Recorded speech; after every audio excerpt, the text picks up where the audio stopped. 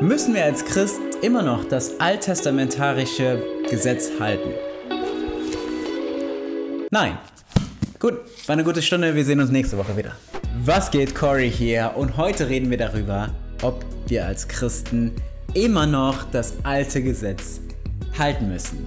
Denn so viel erzählen mir, wollen mir erzählen, dass wir immer noch alle 613 Gesetze einhalten müssen. Oder sie sagen mir, nee, nee, nicht mehr, nicht mehr die Opferrituale, weil das wurde abgeschafft, nur noch das.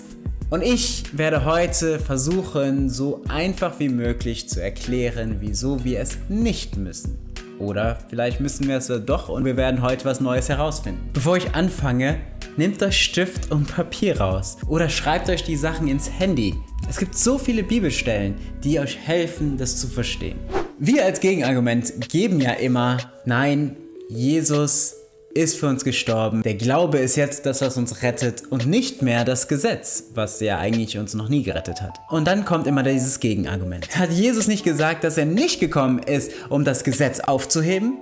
Dann sage ich nur, okay, lesen wir deine Stelle mal. Matthäus 5, 17 bis 18, da steht es und da heißt es. Meint nur nicht, ich sei gekommen, das Gesetz und die Worte der Propheten aufzuheben. Nein, ich will sie nicht aufheben, sondern zur Geltung bringen.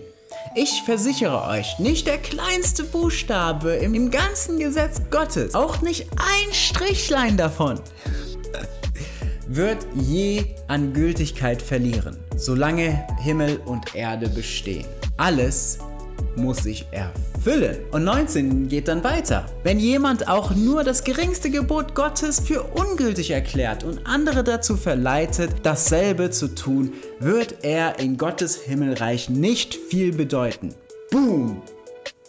Also müssen wir doch das Gesetz halten. Gut. Sehen wir uns nächste Woche. Aber was steht hier genau? Jesus sagt, ich bin gekommen, nicht um aufzuheben, sondern zu erfüllen. Jesus ist nicht gekommen, um irgendwas für unnötig zu erklären. Alles hat seinen Sinn und Zweck. Aber was ist der Zweck des Gesetzes? Galater 3:19. Es zeigt das Ausmaß unserer Sünden. Aber das gilt nur so lange, bis der Nachkomme Abrahams kommt. Wer da ist? Jesus. Wir lesen in Römer 10:4, Christus ist das Ende des Gesetzes, so dass jeder durch den Glauben gerecht wird. Er hat nicht nur das Gesetz erfüllt, er hat auch Prophezeiungen erfüllt. Bam! Das müsst ihr selber alles lesen. Das Gesetz war nur da bis zur neuen Ordnung, richtigen Ordnung, bis zur Zeit der Besserung oder zur Rechtbringung. Unterschiedliche Übersetzungen, aber alle sagen bis zu einem gewissen Punkt. Hebräer 9, Vers 10. Die Anordnungen galten aber nur so lange, bis Gott die neue Ordnung in Kraft setzte. Jesus hebt die alte Ordnung auf. Das steht in Hebräer 10, 8 bis 14. So hebt Christus die alte Ordnung auf und setzt eine neue in Kraft. Und deshalb gehören wir durch sein Opfer ein für alle Male zu Gott. In 11 steht zum Beispiel, der Priester, der muss jeden Tag Opfer bringen. Und trotzdem reinigt das niemanden für immer von seinen Sünden. Und in 14 dann, als Christus gestorben ist, wurden wir für immer von unseren Sünden befreit. Wir sind doch schon gerecht gesprochen vor Gott. Kolosser 2,14. Gott hat den Schuldschein, der uns mit seinen Forderungen so schwer belastete, für ungültig erklärt.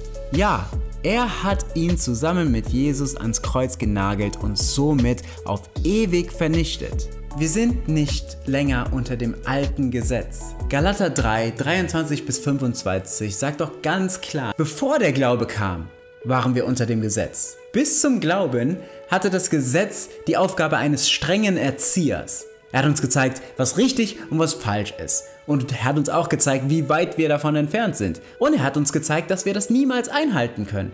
Seit Christus aber finden wir durch den Glauben Gottes Anerkennung und sind dem Gesetz, diesem strengen Erzieher, nicht mehr unterstellt. Das Gesetz konnte uns noch nie gerecht machen, weil niemand konnte das Gesetz einhalten. Abraham ist durch seinen Glauben gerecht gesprochen worden. Heißt es also, wir dürfen tun und lassen, was wir wollen? Ja, Wir sehen uns nächste Woche. Nein, natürlich nicht. In den USA habe ich jetzt so häufiger dieses, dieser Begriff Hypergrace gehört.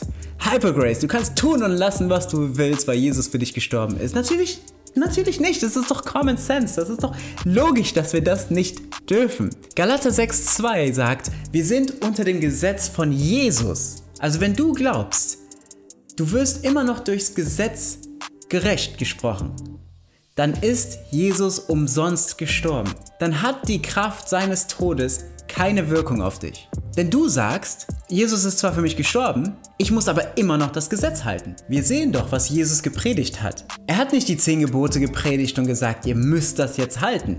Nein, er hat gesagt, wie ist es?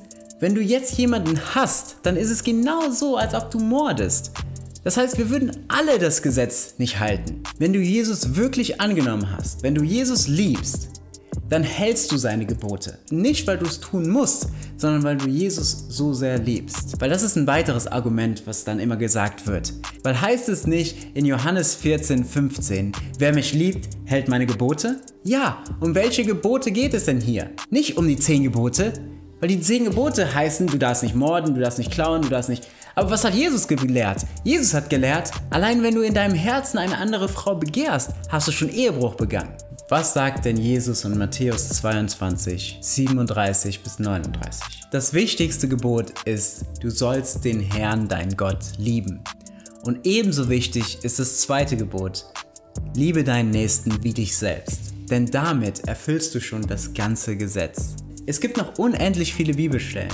Zum Beispiel in Hebräer 8, Vers 10. Die Juden wussten, dass irgendwann ein neuer Bund geschlossen wird. Und der wird ganz anders aussehen, weil das Gesetz wird in dein Herz geschrieben. Er leitet euer ganzes Denken und Handeln. Als wir Jesus angenommen haben und den Heiligen Geist bekommen haben, war es Schluss mit Gesetze halten, Gesetze halten, Gesetzen halten. Denn unser Fleisch ist gestorben mit Jesus. Und jetzt regiert unser Geist. Denn unser Geist jetzt möchte das Richtige tun. Ich belasse es jetzt erstmal dabei und hoffe, ich habe das meiste erklärt. Falls es noch weitere Fragen gibt, schreibt sie mir unten in die Kommentare und ich mache ein zweites Video dazu, weil man kann noch so viel mehr dazu sagen, aber ich wollte einfach nur mal den ersten Punkt.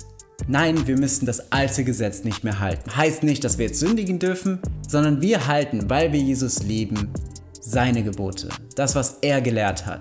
Ich werde sicher noch ein paar Videos darüber machen, über dieses Thema und deshalb hoffe ich, dass ihr mir unten hinschreiben könnt, was noch offen geblieben ist, was noch nicht erklärt wurde. Und dann kann ich ein zweites Video darüber machen und noch viel, viel, viel mehr ins Detail gehen. Aber sonst sehen wir uns nächste Woche wieder. Und bis dahin, Corey hier, ihr da, alles klar. Ja, sehen wir uns nächste Woche wieder.